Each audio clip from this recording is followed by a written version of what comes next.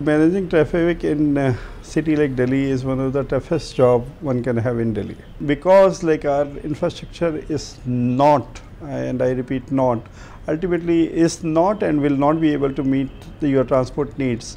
So like uh, everywhere you have been uh, getting problems.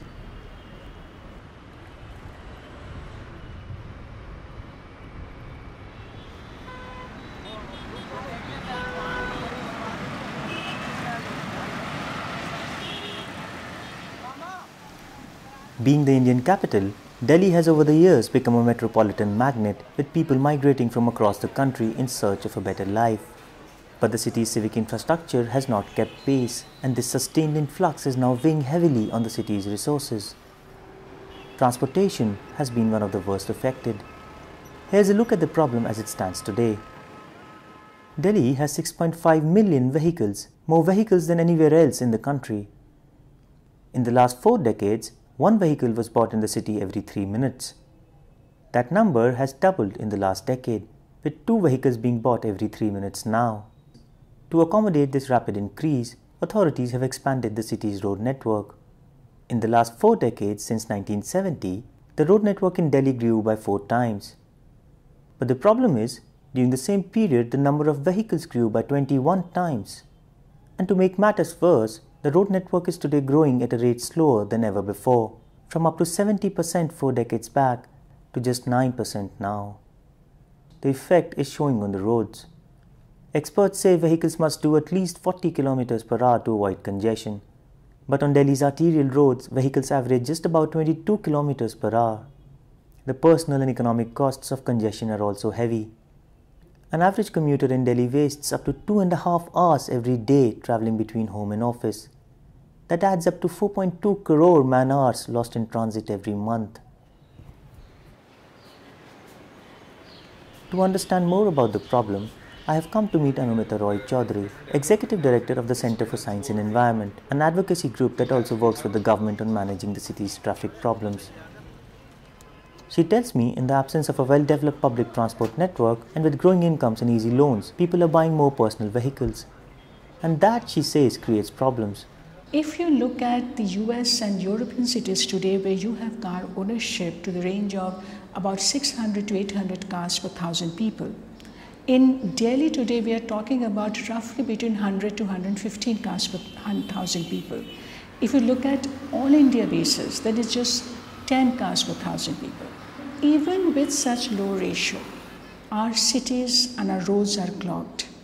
And imagine what will happen if you try to replicate the ratio that you see in US cities to a billion population. I mean, you will just completely destroy the cities and with that the world. The government has so far done little to discourage people from buying personal vehicles. But over the last decade, the government has given a massive push towards making public transport more popular.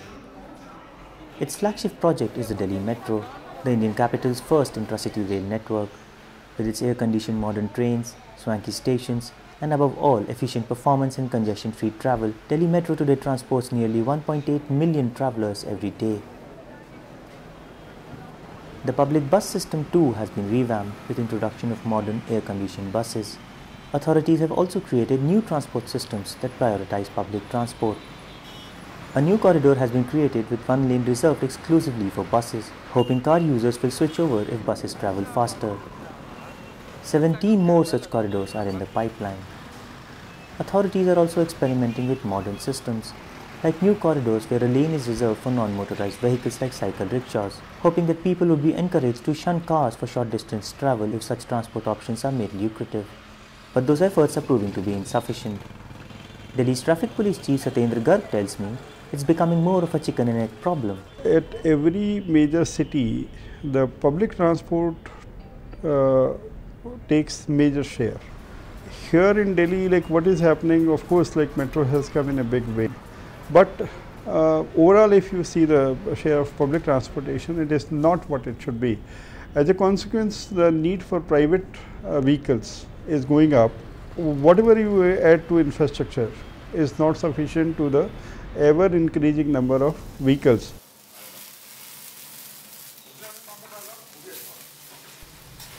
To get a first-hand account of how transportation problems affect daily life, I met Harsh Takru, a management graduate working with a global FMCG company. He lives in a satellite town south of Delhi and spends nearly two and a half hours on the road every day for a commute that shouldn't take him more than an hour and a half. Harsh lives with his wife but says his family life has been reduced to only weekends. Uh, you do feel very stressed or um, uh, quite tense. It, it, impacts your productivity, A, because um, obviously when you're at a higher level of stress, uh, you're less well rested, um, your, your work output can be affected. Even if you manage to get the work output, it, um, it takes a toll on you because uh, it's not possible that you're giving in extra hours, you're working at a higher level of stress, you're also spending so much time on the road and still, uh, you know, it doesn't impact you. With the per capita earning in Delhi increasing year after year, more and more people are buying personal vehicles. So I asked this final question to the traffic experts. What will it take to solve Delhi's growing traffic problem? See, the solution is very simple. Like, in a way it's simple, but in a way it's complex because maybe that is not coming. So, so, solution is simple that you have to increase the public transport and you have to drastically reduce private vehicles. And unfortunately, none of them is coming.